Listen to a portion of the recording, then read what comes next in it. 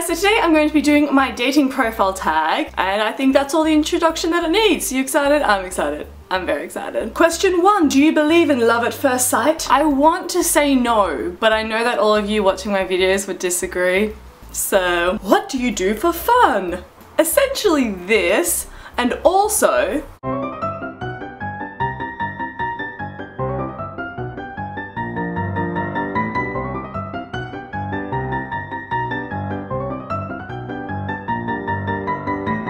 Do you want slash have any children? I don't have any children and to be honest the thought of pregnancy at this point in my life just literally terrifies me to death. But in the future, dear god yes. You just get to have these like tiny miniature humans and they're so stupid they can't even walk and you get to put them in little outfits. And then you get the teen years and I feel such an affinity for teenage girls that's why I'm borderline obsessed with all of you guys. And so I get to like give them advice and help them reach their full potential and hang out with them. They're like oh my god mom go away you're so annoying because they're teenagers they're just like that. And I'll just be like oh my god I love you so much, you're amazing. Tell me all about Robbie from school. Tell mama everything. Now that I'm saying this aloud, I feel like I'm going to turn into how Kris Jenner cheats Kim, but for all of my children. Still trying to figure out if that's a good or a bad thing. What are you looking for in a relationship? Let's be real, I have quite a long, detailed mental list, but I guess it all just comes down to someone that I can live, travel, laugh, cry, converse, and fuck with. What's one thing about me that you should know? I am really into Christmas and One Direction, and when I say really into something, I mean like to a genuinely worrying extent. If you won the lottery, how would you spend your millions? Half would go straight to charity. I know a lot of people would say that, but like, it's me, I probably genuinely would. Half to an entrepreneurial visa for the UK, and then a third to savings, a third to travel, and a third to gifts to friends. Who was your first crush? My first real life crush was a boy named Michael, and I drew his initials on cupcakes one time, and then he gave a Beanie Baby to my best friend for Christmas, and I was like, I was a little bit heartbroken